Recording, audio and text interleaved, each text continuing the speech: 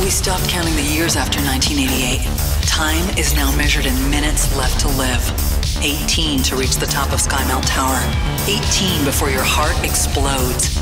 18 before you lose everything. In Black Future 88, time is the currency of revenge. For a world left in ruins, a world destroyed by nuclear fire. Spend it well or start again. Who are you?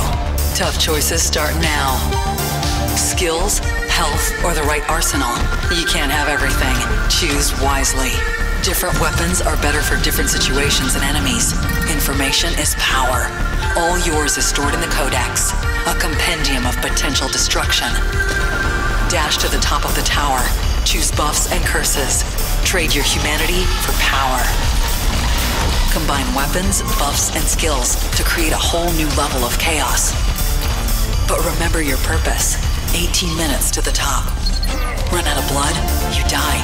Run out of time, you die. But even death has its benefits. Gain levels, weapon, and buff unlocks. Never give up. The world isn't devoid of hope. Hidden dealers sell weapons, blood packs, ammo crates, and stems. Discover companions by unlocking the tower's secrets. Team up with allies in local co-op. Or steal their assets and turn them into enemies. Mistake, the tower will upgrade with any abandoned resources at its disposal, and Skymount won't hesitate to use them. You must be quick and deadly, but if you persist, you can deliver the death the Wardens deserve.